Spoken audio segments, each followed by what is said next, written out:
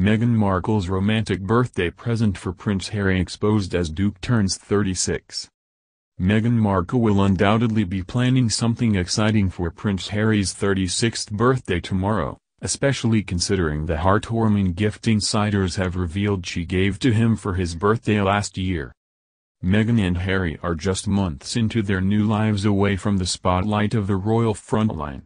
They have moved to Santa Barbara, in California, signed a megawatt deal with Netflix to produce documentaries and paid off their Frogmore Cottage renovation costs, meaning they have had plenty to celebrate. And if last year's present is anything to go by, Meghan will have organized something extraordinary for Harry's 36th birthday, despite the restrictions of the ongoing pandemic. A source claimed, last year, for Harry's birthday, Meghan recreated their Botswana camping adventures in their backyard. It's a place that means so much to them, and to Harry in particular, so Meghan wanted to bring that happy place to him on his day so she set up a tent, got sleeping bags, cooked dinner and recreated Botswana where they fell in love. The couple first headed to Botswana after only two dates together, back in 2016. Harry admitted in their 2017 engagement interview this was a pivotal moment in their relationship.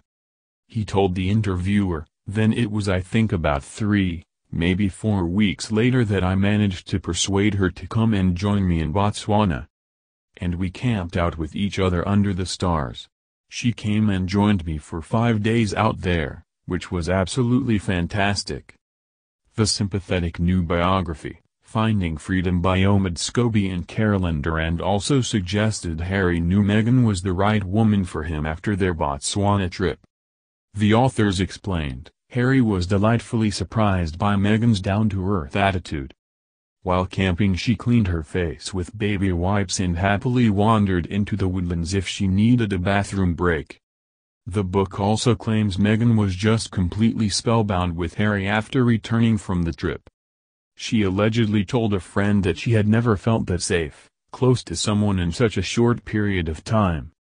The couple also went back to Botswana in 2017 and helped Elephants Without Borders out in an attempt to assist with the conservation efforts.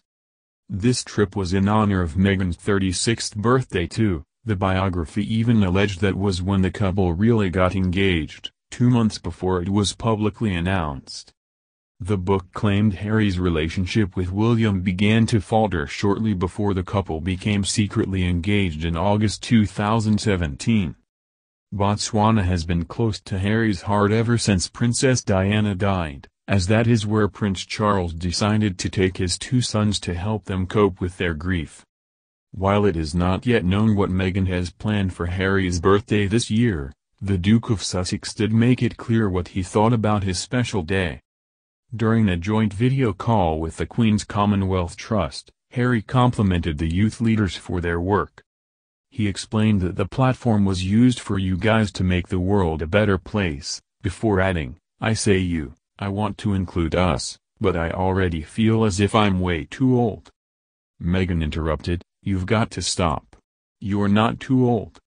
The Duchess of Sussex is three years older than her husband and celebrated her 39th birthday in August.